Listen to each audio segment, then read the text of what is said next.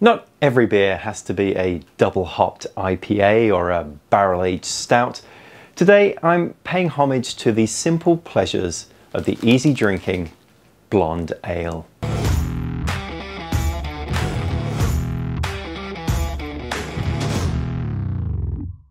It tastes bitter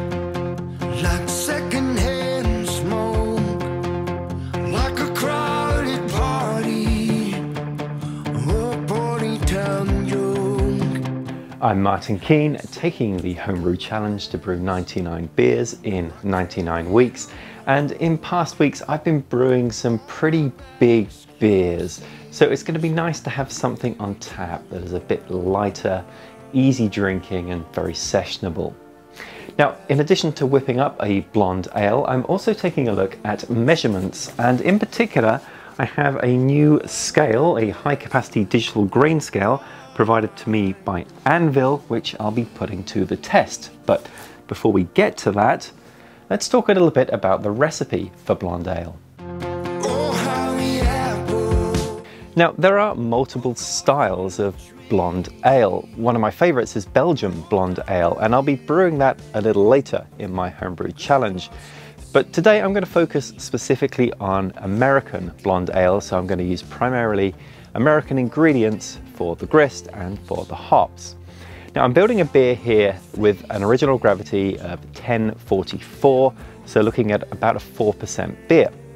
My base malt is two row pale malt, and that's going to make up 79% of my grist. I'm adding also Vienna malt, which will just add a little bit of malty sweetness to the beer that we want at 11%.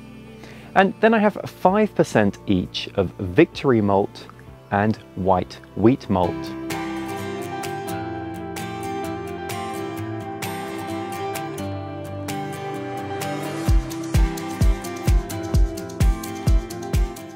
Now let's talk just a little bit about weights and measures because it's a big part of everyone's brew day. It's not like we're, uh, we're taking some grains, putting them in a bucket and saying, yeah, this looks like about seven pounds.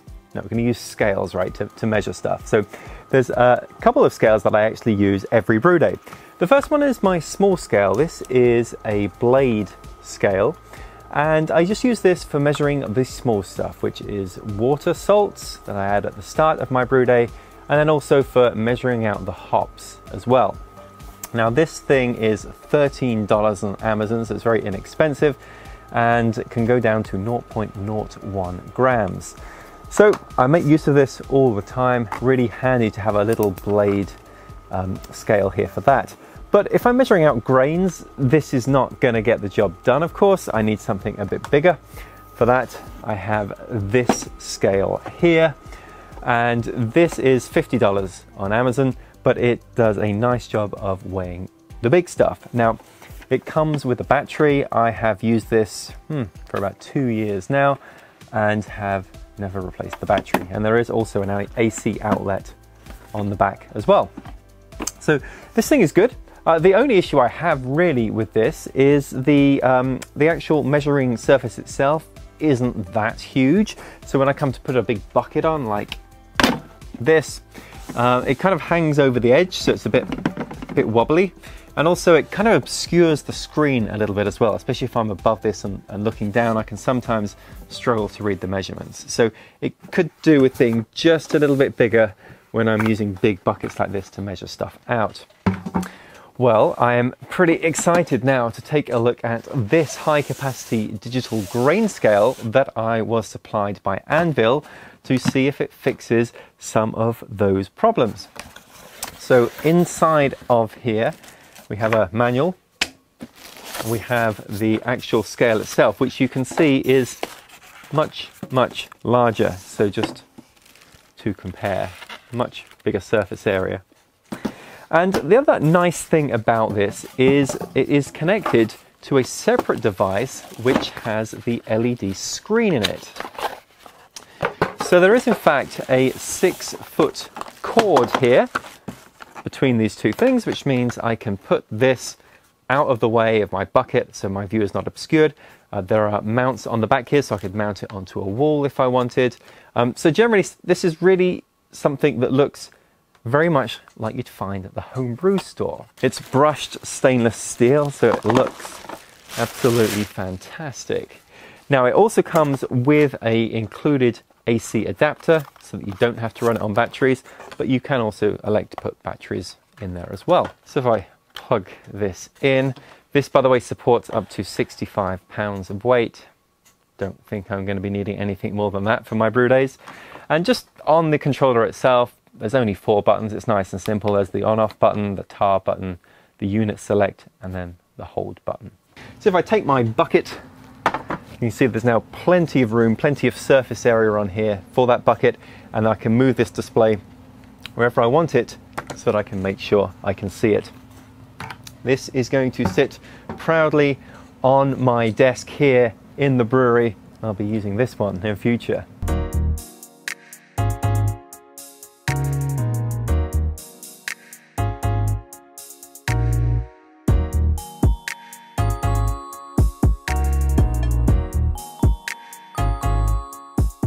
Hops for this beer, well this is not particularly hoppy. You want to aim for an IBU around 25, at least that's what I'm shooting for.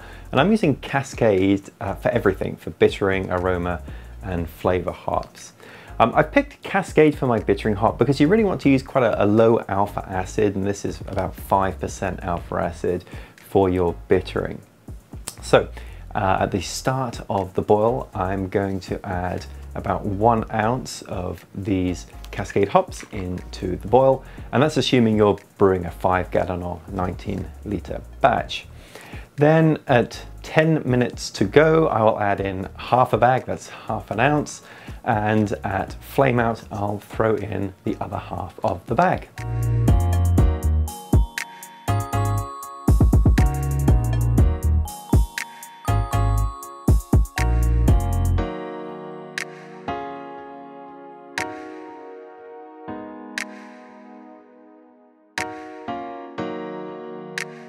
The beer has come in with an original gravity of 1046. Now for yeast, this is the time where I actually am going to deviate away from using American ingredients.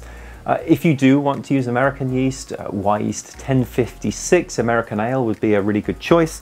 However, I am using Whitbread Ale. This is Wyeast 1099. I'm adding this into the beer and then going to ferment at 68 Fahrenheit or 20 Celsius we want to keep the temperature relatively low uh, just to sort of keep this beer as a nice clean blonde beer. All right, let's add this yeast in and let it ferment.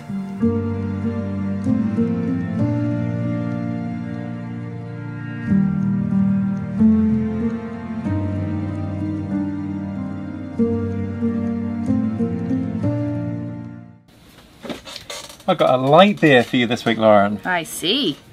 Take a look at this one and uh, certainly is on the light side, right? Lovely clarity with this one. Yeah, it's very uh, golden looking. You can see all those bubbles in there. Yeah, yeah, it looks a pretty beer.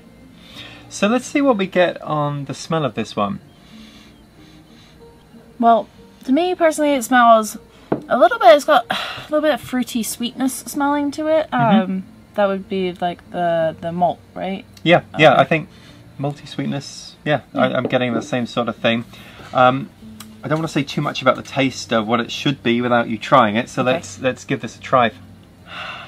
Well, that is a good change of pace in beer.